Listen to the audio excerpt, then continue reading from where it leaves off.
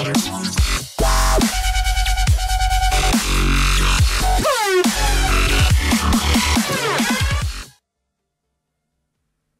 what's up guys? It's me, Jason's Hammer. I'm back with another video today. I'm doing a little bit of a tutorial and I'm going to do a couple of these because people are wondering how I do some of my um, GFX I do for channel art and stuff. Uh, and a lot of people have asked me to make a tutorial on how I do these and they're really easy once you get the hang of it. It takes you five minutes, not even, to make them, to make like a text. And what I'm talking about is this. So to make something to look like this, takes this took me in Cinema 4D just the way it is took me two minutes to make it, they're easy and um, all you need is Cinema 4D obviously and these two plugins Greebler and Thrausi now first we're gonna start off with and by the way I have lights in here and you can just download Lightrooms to make these soft boxes everywhere like three soft boxes so first we're gonna go MoGraph MoText so as, as you see, we have uh, our text here. And what I'm going to do is I'm going to make this say tutorial since this is a tutorial. Tutorial. I'm also going to go into my fonts and I'm going to use Bebas. Uh, I use this for a lot of them because Bebas is, I, I just like the way it looks when, um, when it's all said and done. So I use Bebas and I'll set the depth to 40. And you want to do this because you want a kind of a thicker look to it and you can mess around with this. You don't have to follow this exactly. It can be anywhere you want it, uh, any depth you want it to be. Um, we're gonna go to caps and then set this to fillet cap. Set this to fillet cap, and I'm gonna set this to two. So it's not. No. Uh, let's make that three.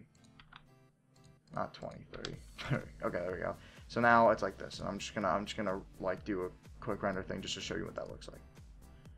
Then what we're gonna do is we're going to go in here and we're going to click plugins, Thrausi, and this Thrausi. Then I'm, I do anywhere from 15 to 30. You can do whatever number you want. Let's just do 30. And as you can see, it's starting to break everything down into tiny little bits. So let's wait till that's done. So it, it, it takes like two seconds. And done. Okay. X out of this. Then I go to MoGraph, Effector, random. You click the first, the top one and the bottom one, and then you drag it to the here. All right, and then you just go like this, and you select these. Now it's all crazy and stuff. So you go to random, and you can uh, minimize this just to clean it up. Your strength, and I put the strength from anywhere from 9 to 11, or like 8, 8 or 9 to 11. I'm going to put this on put on eight. I'm gonna since this is kind of like I don't know, it's like getting chopped in half, but this is what it, that looks like. I'm just showing you what this looks like. You see, it's it's already it's starting to take effect. You know. Also, what you can do is you can set. So let's say I didn't I didn't like the T, how that one looked. So I can um. Where is it? what I can do is I can um, oh that's not in here. This is uh that's not in here. Never mind. Um I, I said I was gonna fix it because you see how this is kind of like chopped in half? That it doesn't really matter how it is but that anyway you click this random then you go to plugins Greebler then Greebler again. Link in the description by the way to everything I'm talking about just just to make sure that you guys know. And then put that under there. As you can see, it does this. Now this effect, it looks cool. It kind of it kind of takes a while. It looks cool, but this is not what we're looking for. There's too many, as you can see, there's too many little greebles, which they're called, the little like sticking out things. You can keep it like this if you want. I don't like keeping it like this because I don't like it, it, looks a little bit too messy. I, I want to clean it up so it looks like this more and more clean. Doesn't have all these little greebles, which they're called. I don't know why they're called greebles. So go to basic, uh, I mean, sorry, go to stock greebles and then generate greebles to all. So, so now all like those little things are off. And then nurnies, I turn nurnies off. I don't know what they do. I don't know really what the nurnies are, but I just do that. Now, as you can see, there's a seed for all of these. So you can change the seed to whatever you want, and it'll change, like, the, the Greeble stuff. Um, and so, yeah, you can do that whenever you want. Then, I'll put the height and the max height to zero. So then that's what it does. And now, we're pretty much done. You can mess with this, the bevel, turn the bevel, bevel up a little bit. I turn it, uh, you know, 35 is what I do it to sometimes. And then, there you have it. That's, that's literally it. You can add, like, uh, see, the reason why this is green is because I can texture it. So yeah, that's pretty much it to get this kind of effect on text. I'm just going to let it load all the way just to show you what it, it will look like. And these settings you don't have to use. Like the 0, 0 you should just to get it to be clean like that. But yeah, that's that's pretty much it. You know, I'm going to turn the bevel down. I'm going to turn it maybe to 15 because I don't know, I don't like the way it looks. And then there we go. That's how to use this. And let's say I want to put maybe uh, a red. Let's put the red in here. There we go. Now it's red. Or is it red? I don't know. I can't. Yeah, okay, it's red. I was like, what the fuck? I was like, why is it not red? So yeah, and then, and that's pretty much it, guys.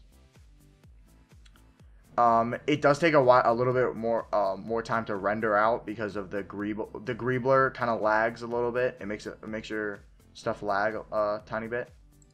So then now, now you're thinking, okay, I want to render this out. So go to render settings. Uh, make sure the format's PNG, and you, and most of the time you don't want the black background, and this is how to get rid of that back background. So output, I put it at 720p, so the resolution. Um, I didn't, I didn't mess with any of these. Uh, the save, you put that as PNG, and I'm gonna save this to my Photoshop stuff. And I'm gonna do this as uh, tutorial. Save. So that's going to be saved there. Um, I didn't mess with any of this stuff. Oh, make sure anti-aliasing is at best. And this is one-to-one. Um, I Sometimes you can do two to two, but I, I'll just keep it as one to one. You know, this time I'll put it two to two. That's what most people do.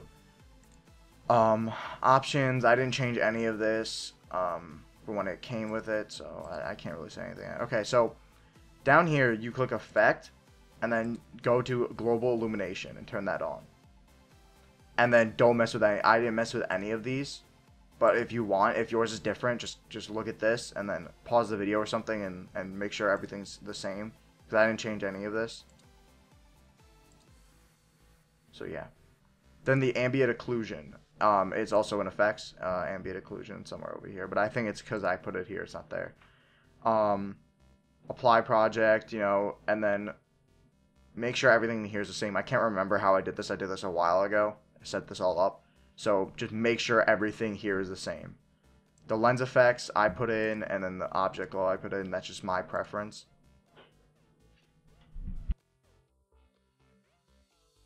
Um, yeah, so that's it for render settings, and then just click render.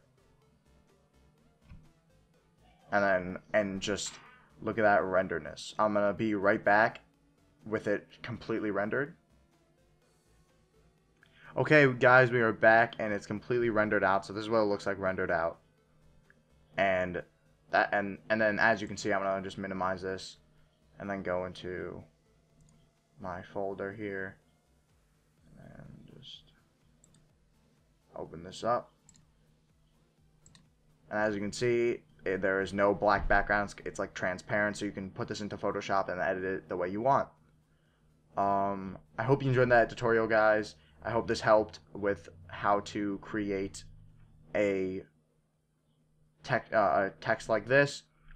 If you would like more tutorials on C4D, comment below. I'll do more about, like, you know, how to do different styles of this. Like, there's a million things you can do with uh, Greebler and, and Thrausi. This is just one thing you can do. Yeah, guys. As always, thanks for watching. Bye-bye.